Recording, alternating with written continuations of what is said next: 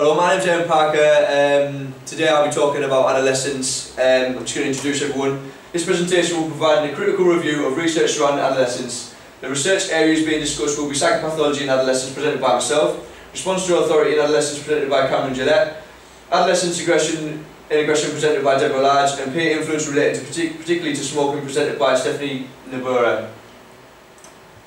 Okay, on to my psychopathology in adolescence. Dan Henry described adolescence as a crucial transformative stage from childhood to adulthood. Various researchers such as Cicchetti 2002 and Fairchild 2011 suggest psychopathology is manifested within adolescence. According to Costello 2011, one in five adolescents has a psychological condition.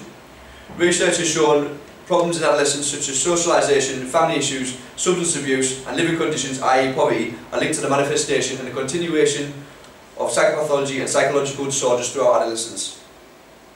Research by Horndorf et al. 2013 shows that the development of social issues manifests in adolescence by way of social isolation and lack of group, group interaction. On to psychological disorders related to psychopathology. Horndorf et al. 2013 links psychological, to, psychological disorder to be an uh, indicator of psychopathology within adolescence. Examples of this are anxiety, depressive mood and somatization disorders, which means to manifest um, them physically. In 1999, Ford noted that the British Child and Adolescents Mental Health Survey study showed that there was an increased rate of depression as children moved into adolescence, significantly within females. This also showed an increase of range of disorders, i.e. substance abuse, anxiety, separation anxiety and agoraphobia. Johnson et al. 2013 showed a study in emotional irregularities. This showed emotional irregularities in adolescence linked to poor social skills and depression.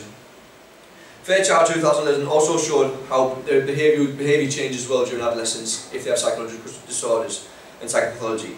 Um, it can become risk-taking and reward-seeking. Traits and limitations and successes of the studies.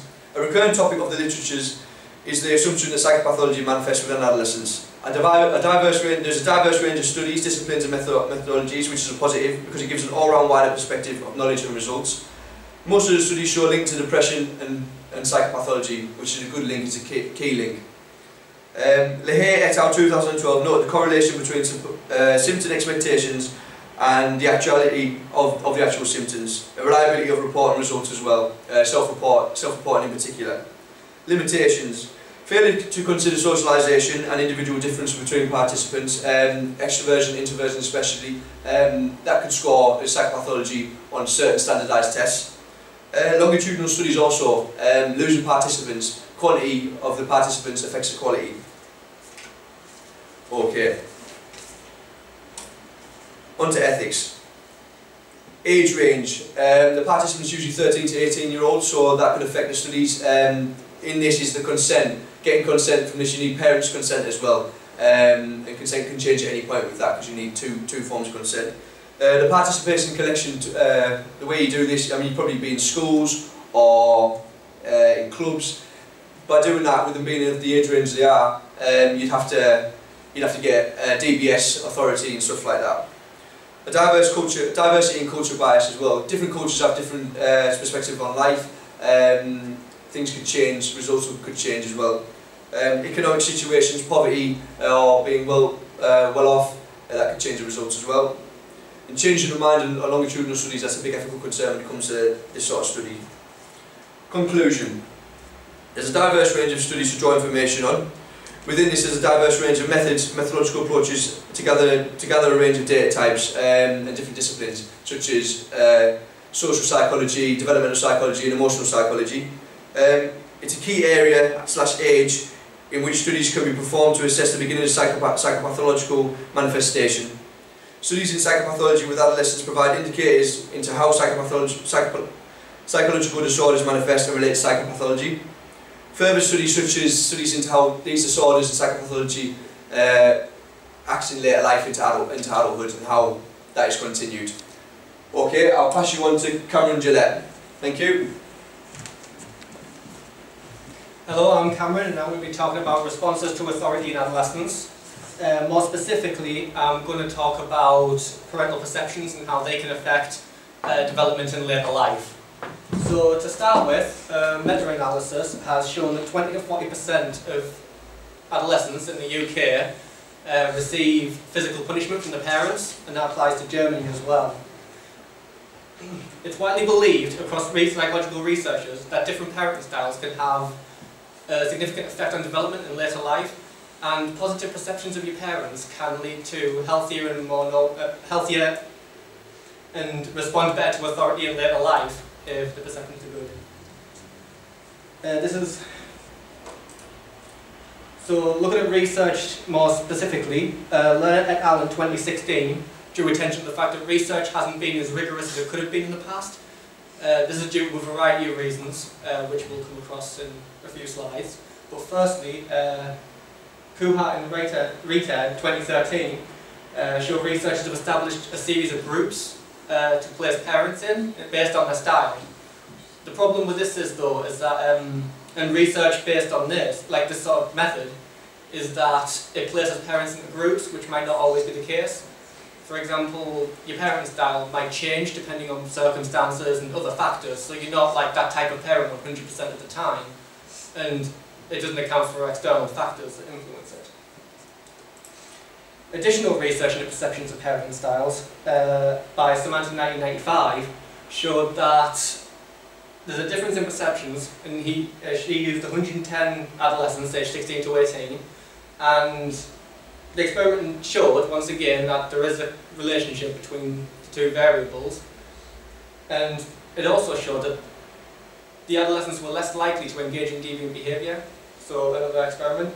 Um, but the problem with this experiment in particular was that it consisted of 108 mothers and 92 fathers, which means that it's unbalanced uh, and it's sort of like um, it doesn't account for step parents, adopted parents, and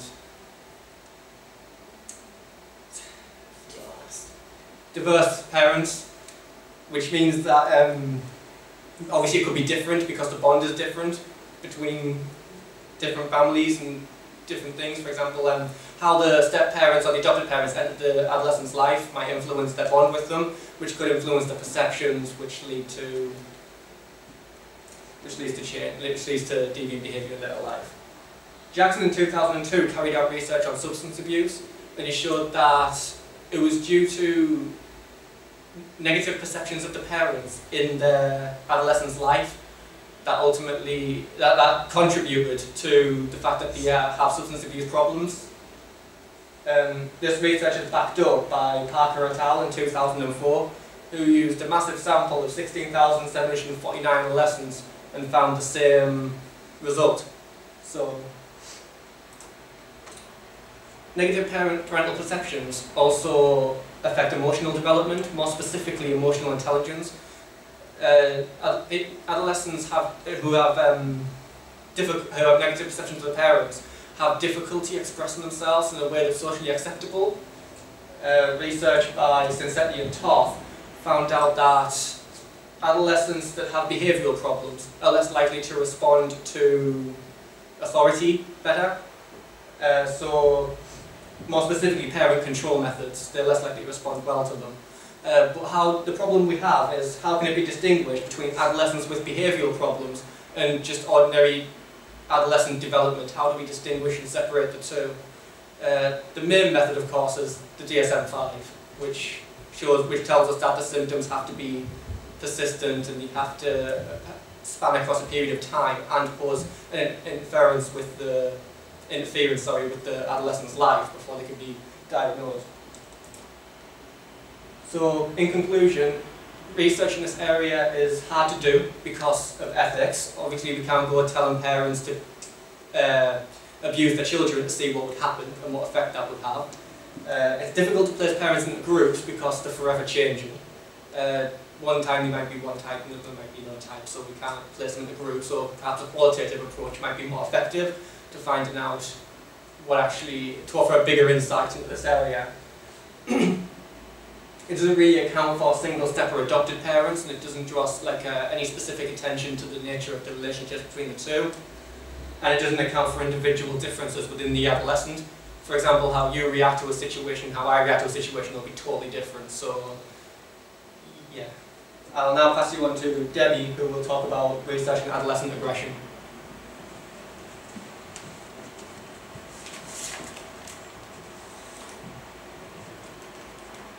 My name is Deborah Large and I'll be discussing research articles relating to adolescent aggression. Evidence suggests that sex differences in adolescent aggression have been reported since the 1920s, but not in the way that aggression was acted out, but based on the idea that females did not display aggression. In 1961, Arnold Buss wrote, women are so seldom aggressive that female aggression is not worth studying. This attitude continued in the 1970s but had begun to change by the early 1980s. Early studies reported that aggression Aggressive behaviours can be observed from two to two and a half years old, and the aggression observed between male and females does not differ till around six years old. The differences then continue into adolescence, with males being more overtly aggressive and females being more covertly aggressive. Nearly all new studies on adolescent aggression carried out today contain male and female participants. One study found that highly aggressive females will remain more aggressive over time than highly aggressive males, This goes against the gender norms of male aggression for nearly all of the studies. Sources outside the self also become an issue that affect adolescent aggression and the age at which this change takes place can have an impact on studies carried out, especially with 11 to 12 year old participants. Aggression in adolescence is viewed differently in different perspectives of psychology. In evolutionary psychology, where studies looked at levels of testosterone produced during puberty along the level, alongside the levels of aggression displayed, found that the testosterone had effect on aggression. However, a study carried out by Halpern in 1994 concluded that levels of testosterone produced during puberty were too low to have a significant effect on male aggression. Social psychology looks at aggression as an issue created by environmental factors mixed with social and economical status. The way in which aggression is studied is also varied with the type of aggression being studied. There's proactive and reactive aggression, Until recently, these two types of aggression had not been studied for the purpose of adolescent aggression alone, and only when looked at other issues that affected aggression. Proactive aggression is displayed when there's no trigger to the aggression and reactive is in response to a trigger. This is hard to monitor and record with adolescents, as the he said, she said, when aggression is displayed can cause an issue as to whether or not the behaviour is proactive or reactive. This leads on to the issue of language. Language and terminology used in older studies of aggression looked only at overt or direct aggression, whereas new studies look at overt aggression as well as covert aggression. Different studies have different names and slightly different meanings across studies. The terms used being single, relational, covert and indirect aggression. Before the introduction of direct aggression to studies, of indirect aggression to studies, direct aggression was seen as a behaviour carried out by socially isolated individuals with low social intelligence. New studies include direct aggression, indirect aggression, allow aggressors to fit into groups with high social intelligence and to be less socially isolated. In fact, Rose 2004 found that popular males were viewed by peers as being more overtly aggressive and popular females as being more covertly aggressive than the peer groups. This led to different differences in findings between studies and the possible need to separate studies when looking at aggression to get an accurate result. The self-reporting and peer reporting that is used when carrying out real-world research can affect results, especially when studying adolescents' aggression. It is difficult for females to admit being manipulative and scheming, and males over-exaggerate being overtly aggressive. This also is an issue with peer reporting in groups of friends, close female friends, don't want to affect friendships and male peers will also exaggerate aggression for friends while downplaying it for others. This kind of reporting does change as adolescents age and can be seen through longitudinal studies as adolescents' priorities change. Longitudinal studies have the issue with attrition as well as changes in school districts, financial issues and participant sizes. In nearly all adolescent aggression studies, participant sizes are between 300 to 1,000 across classes and ages so the studies can be applied to most. This subject is one of the best in the areas of study for participant groups. Archer 2004 found that lab settings for aggression use smaller sample sizes and that the results did not match those that have been found in real-world settings, meaning the lab testing carried out could be misleading and that lab testing only works with smaller sizes when looking at individual traits. Another limitation of aggression studies are uncontrolled variables, undiagnosed mental health issues, drug and alcohol abuse, social and economical class, and social acceptance of aggression in the demographic location of the study. Although they can be reduced, it is difficult without full honesty, which may be hard in some areas when working with adolescents This cannot be totally avoided and may have an impact on results, for example, where adolescent drug use is an issue in a specific area. Moving forward, to gain a better insight into aggression, the study can be carried out on the individual subject rather than trying to group different types of aggression together and mixing males and females to try and get norms. As gender norms are continually changing, a new generation of new youth may produce a totally different set of results and that's been seen throughout the research that's been carried out. I'll now pass you over to Steffi. Hi, my name is Steffi and uh, I am talking about peer influence in adolescent smoking initiation. The content of my presentation is grounded on empirical evidence which is displayed synthesized within the presentation slides. With 46% of cancer patients in the UK starting to smoke during adolescence, youth smoking has been recognized as a major preventable risk factor for cancer. In order to develop targeted prevention strategies, numerous research was conducted reporting peer influence as the single most important factor for this phenomenon. The issue here is that those findings are divided into two opposite fields of the spectrum uh, with so-called peer pressure on one end, proposing that direct peer influence, such as offering cigarettes to an adolescent with negative consequences for the teen if resisting the offer. This scenario sees the adolescent as a passive agent who simply gives in to the pressure of the peer group he or she wants to be part of.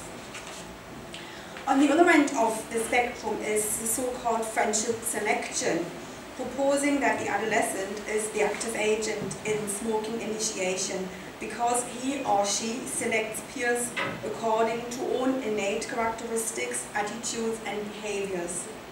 The articles on this slide uh, present empirical evidence for this proposal and also provide details about what characteristics are more likely to be found in an individual who is likely to take on smoking.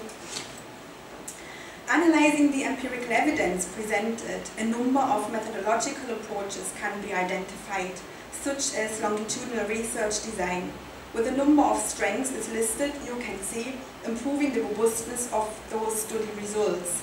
However, limitations are also present, with the main disadvantage being age-related changes potentially being distorted due to biased sampling, selective attrition, practice effects, and or cohort effects, presenting a threat to the validity of those studies. Arnett, Hoskin and Kobos proposed to apply so-called sequential designs as an alternative because they provide the opportunity to conduct a multitude of longitudinal investigations, avoiding the aforementioned limitations.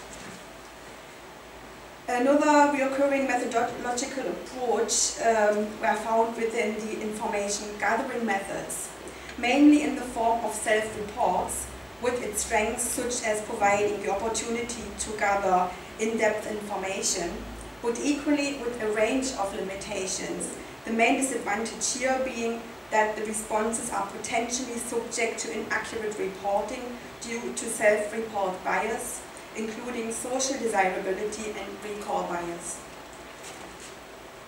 And secondly, relying on adolescent reports of peer smoking behavior. Again, providing rich in-depth data, however, limitations such as the so-called false consensus effect, the cognitive bias leading to, leading to exaggeration of the degree of similarity between the adolescent and the peers, presenting a threat to the validity of those studies. Obtaining multi-interview data from the adolescent, peers and other individuals from the social environment poses an alternative. And last but not least, reporting evidence of causation, whilst the research data is correlational only basically reporting that data showed that two events which occurred together have established a cause and effect relationship when in reality they only correlate. Concluding, it can be stated that there is a discordance amongst researchers regarding the significant level of influence versus selection processes concerning the phenomenon of smoking onset during adolescence, and also that limitations occur within the findings of both fields as presented here. The proposition is that both presented origins are not mutually exclusive and also that further research is needed in order to overcome those limitations and to gain deeper insight into this phenomenon of adolescent smoking initiation and also to provide more effective prevention strategies. This almost brings our presentation to an end. However, we would like to raise your attention for a few more minutes to reflect on our project. Thank you very much. Um, I'm the first to reflect and um, I have to say that working on this project made me aware that I have to improve my time management.